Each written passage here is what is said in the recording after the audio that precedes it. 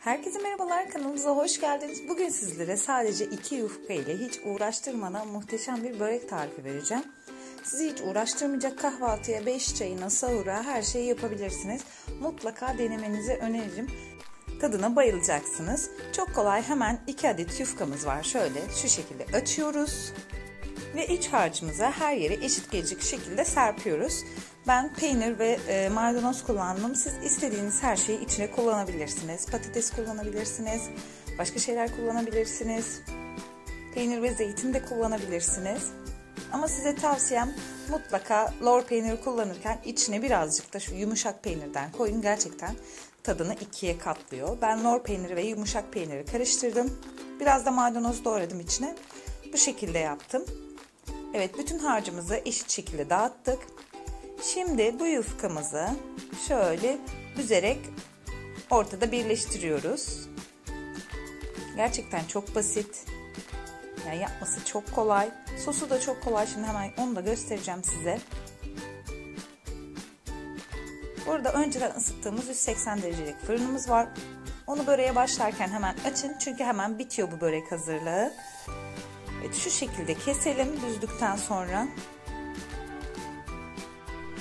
Bu arada gelecek lezzetli tarifler için kanalımıza ücretsiz abone olmayı unutmayın.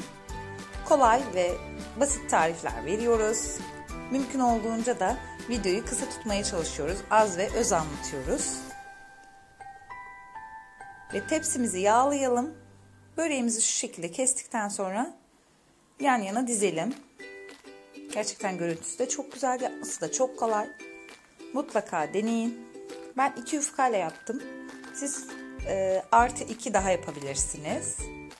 Yani büyük bir tepsi yapacaksanız. Ben şöyle orta bir borcam kullandım. Bu bize yetti. Yağladığımız tepsimizi şu şekilde dizdikten sonra hemen sosunu yapmaya başlayalım. Yarım çay bardağı zeytinyağımız var. Onu ekledim ve yarım şişe sodamızı da ekliyorum. İyice çırpıyorum ve üzerine dökeceğim böreğin. Siz artı 2 yufka daha yaparsanız sosu o şekilde arttırabilirsiniz. Şimdi bu karışımı üzerine döküyorum.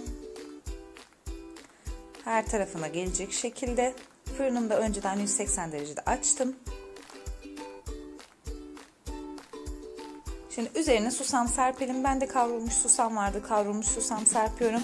Sizde varsa mutlaka kavrulmuş susam tercih edin. Yoksa normal susam da kullanabilirsiniz. Ve her tarafına bol bol gelecek şekilde serpelim. Çörek otu da serpebilirsiniz. O da çok yakışıyor. Ve fırınımıza gönderelim. Ve işte pişti. Çok kısa sürede pişiyor. Yapımı çok kolay. Mutlaka deneyin. Burada yakından göstereyim. Bu arada e, burada ışığımız bir gitti. Kusura bakmayın. O yüzden biraz karanlık bir çekim oldu. Videomuzu beğenip kanalımıza ücretsiz abone olmayı unutmayın. Ve bu güzel tarifi sevdiklerinizi de göndermeyi unutmayın. Gerçekten çok basit, çok kolay ve tadına bayılacaksınız. Deneyen herkese şimdiden afiyet olsun.